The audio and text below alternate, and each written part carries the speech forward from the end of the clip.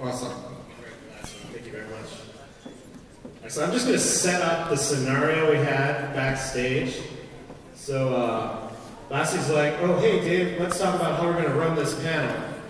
So I have some hats to give out and some magnets and these giant, now you have what, a sign and some sandwiches. And so she comes backstage with like six pounds of props and uh, Zach and I are just kind of like, oh, hey, okay, awesome. So um, I found some cat food in the back. So um, today's panel is brought to you by Alley Cat. A 10 pound bag is only $1.99. Your cat will love the refreshing taste of liver and sawdust.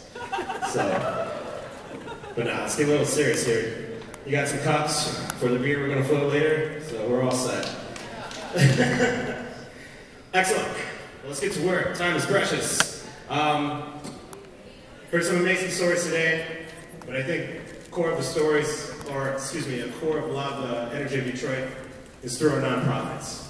And I'm really excited to have some terrific nonprofit representation up here. I'm not going to talk anymore, I'm just going to let them introduce themselves one at a time. So you guys can play paper, rock, scissors. All right, come forward. Bassie told me that I get to start.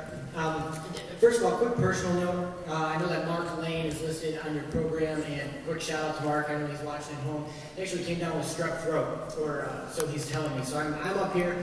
My name is Zach Walsh. I am actually part of the public relations and social media team for Goodwill Industries of Greater Detroit and uh, just very happy to be here today. I need to give one other quick shout out to my wife who's also watching at home. It's our anniversary today, and I didn't know that I was going to be hanging out this late, so I have to say hi, Kelly. Please don't kill me when I get home. What's your name? Kelly. Kelly, come on down to the Fillmore. We got some pizza waiting for you. at the anniversary. She's great. Hi, I'm Bassie Shemtov, and I'm the director of Friendship Circle, which is now in 78 places around the world. If you don't know Friendship Circle, you may have seen the magnets that mysteriously disappear, or excuse me, appear on your car. I'm pretty sure that she goes out at night with her gang and pretty much just litters Detroit with uh, those uh, those magnets, which is great. Well, let's get right into it. Um, tell us about your mission. Tell us your story and what your nonprofit's all about. Absolutely. Goodwill Industries of Greater Detroit. Well, actually, let me, let me stand up here. Stand up. Quick, quick little audience exercise. I want everybody to raise your hand if know someone right now in this region who is out of a job. Not surprising. Again, let, let the record show what was said earlier. Pretty much everybody in the room. Um, and it's, it's a sad reality, but it is a reality. And Goodwill Industries of Greater Detroit is the only organization across all of Southeast Michigan with the sole objective of helping your friends and neighbors, whatever employment challenge they might face, to earn a job. We offer we offer employment education and training programs, um, help, helping people get their GEDs, helping people um, um, earn new skill sets if they've been laid off from from uh, certain industries, trying to, to find out where those jobs are. And, and Goodwill is also a social enterprise that is actually working to create businesses that will create jobs.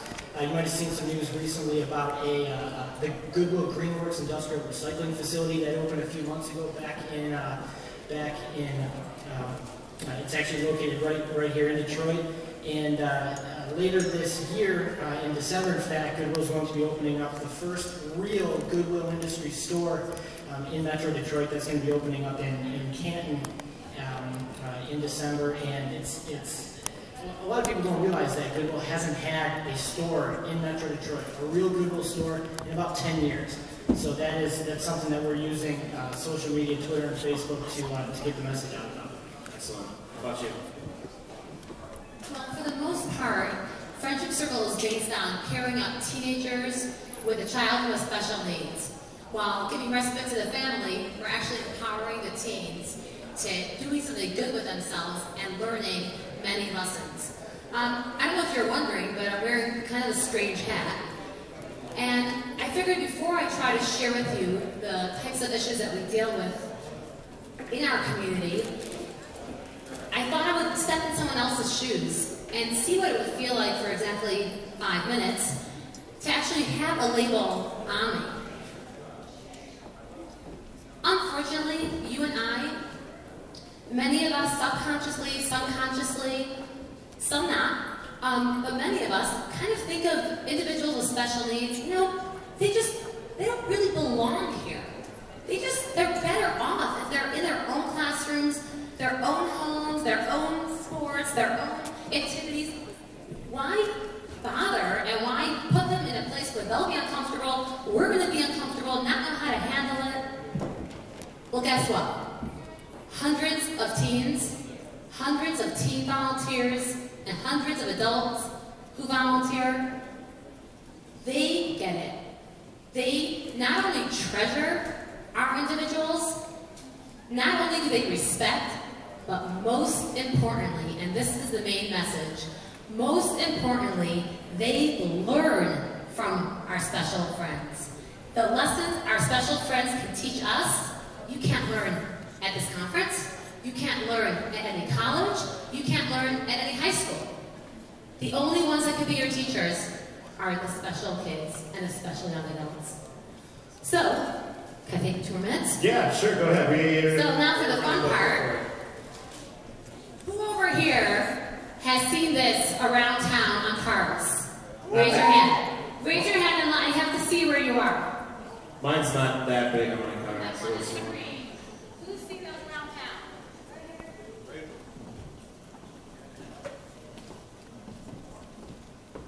Jamie in the back, champion of Detroit, ladies and gentlemen. Throw Throw her. her ahead. You want to be careful because if you're going to take this hat, you're going to be asked to be doing something, so watch it. Next question. Who over here works at a place where individuals with special needs are working as well? Okay, watch it again. Take it if you want it, if you're ready for it. And last but not least, whoops, taking yours. Oh, Okay, mine's no, right no, here. no. Yes, no. Who over here has a family member who has special needs? Come on, where's one? There's one back over there, and I can't throw it. Who wants to throw it from here? Awesome. Okay. All of you who have received the hats, please stand up for a minute. Um, who got the hat? Stand up. Okay. You are now officially ambassadors of this message. I've heard it enough times, the little bit that I know about social media, I heard it enough. Don't talk, just listen. Well, guess what? The same message is for you to go out. Don't only do it yourself, teach it to the community, your friends and family around you. Listen. Take the time and listen to our special friends. I promise you, they will change your life forever. Excellent. Thank you so much. Absolutely. Everyone was awesome. That's well deserved. Zach, what about your plea? You got a call to action for people out there who um, are willing to uh, step up for your cause? By all means, take the stage. Does anyone want some cups? Yeah, that's like Okay, anyway, I'm gonna, I'm gonna try to keep it a little quick. I know that I'm keeping you from pizza and uh, parties and uh, all kinds of stuff later today. But as I mentioned, everything that Goodwill Industries of Greater Detroit about is about helping local people overcome employment challenges and earn jobs. It's everything that we do. We've got uh, bowling for jobs events. We're going to be rocking for jobs. Um, actually, right here in uh, a couple of months with some some local music groups. We're tweeting for jobs. We're Facebooking for jobs. We're creating goofy little videos featuring uh, ice cream cups on a stick named Scooby Dee that hopefully some of you out there have seen. Um, so every, absolutely everything that is that we're doing is to try to help people get jobs, and that's what we're using social media for, is to help you find out how everybody who raised their hand earlier today, how you can actually contribute to an organization that is trying to help those people who you raised your hand about to earn a job. And we've had a lot of great, great success in this. There's a, a number of different types of success that you can have and uh, different ways to measure return on investment with social media. Uh, has an absolutely fantastic story. Once they, um, once they decided that they were going to uh, get back into the retail game, open up the store in Canton, they realized, hey, you know, we're gonna we're gonna be getting a lot of stuff that people are gonna be donating and that we're gonna want to sell at the store, and we're gonna need a pretty big truck to to uh, move all that stuff around. So what Mark did was he uh, he actually put a message out on Twitter and said, hey, we're gonna be opening up a store. Does anybody want to give us a truck? You know, there were some some crickets for a little while, I'm sure, but then after uh, after a couple minutes or a couple days, Art Van Furniture actually stepped up and said, "Hey, you know, we've been following you guys for a while. You're all about jobs. who got a truck. And they actually gave Goodwill Industries a truck, which was a huge uh, component of what Goodwill was, was trying to do with the store. And they were able to divert the resources that they would have had to spend leasing or buying a truck into helping train more people for local jobs. So that was, that was just a fantastic success story that they've had. And uh, another one, uh, more on the, on the personal side of things, we actually were able to connect with a, a guy who had been laid off from, uh, from a steel mill, actually. Uh, he came to Goodwill, found them through Facebook, and he's actually going to be one of the assistant managers at the store. So uh, the stories like that don't happen every day, but we're working to, uh, to help them happen more and more, and lots, lots of great successes going on in the fight for local jobs. I think that deserves a round of applause so Absolutely. Um, as we wrap things up here, 15 minutes isn't enough time to tell your incredible stories, and there's more nonprofits out there that have incredible stories. Um, uh, Bassie was kind enough to have a social media club Detroit over at the Friendship Circle. If you haven't had a chance to check out their facility, it's absolutely amazing. I want to live there. There's a movie theater, they have hot dogs, and uh, cheese pit can jump into. So that you know, that's on the out. Um, Goodwill Detroit. We've talked a lot on Twitter. Uh, I just want to extend my hand and uh, welcome you to present at Social Media Club Detroit next year in 2011. We'd like to have your story out there. And if any of you have any stories to share, by all means, hit us up, hit our network up. That's, this is what it's about, the support and the community, not only what we're doing, but what our nonprofits are doing. So, the Friendship Circle and Goodwill Detroit. Thank you very much, guys. Thank you.